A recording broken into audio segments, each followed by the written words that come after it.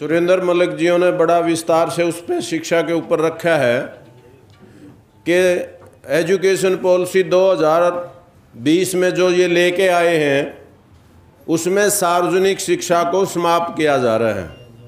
आपके सामने रखा पाँच हज़ार स्कूल बंद कर दिए। अपने बूढ़िया ने तो ज़मीन लेके ने, दान दे के ने स्कूल खड़े करे थे। और यह सरकार स्कूल बंद करने पे तुली हुई है।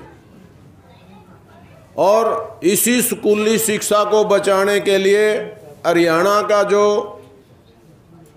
अध्यापक वर्ग है, उनतीस तारीख को जींद में रैली करने जा रहा है।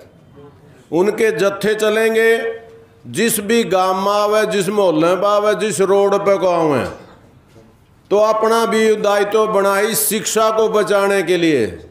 मैं फिर बता रहा हूँ कि सार्वजनिक शिक्षा को बचाने के लिए आप उनका स्वागत करा।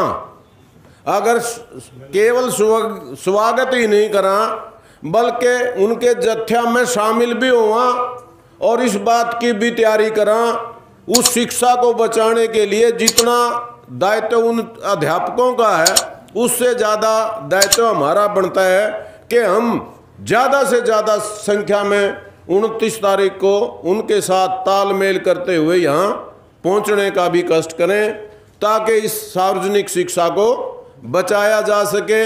और अगर ये शिक्षा नहीं बचती तो समझ लियो, आने वाली हमारी नस्ल और फ़सल भी नहीं बचेंगी। तो मैं इतनी ही बातें आपके बीच में रखूँगा। तो सारे साथियों से पुनः ये अपील है, आप उन साथियों का जोरदार स्वागत करा। और उनके साथ मिलकर जींद पहुँचा।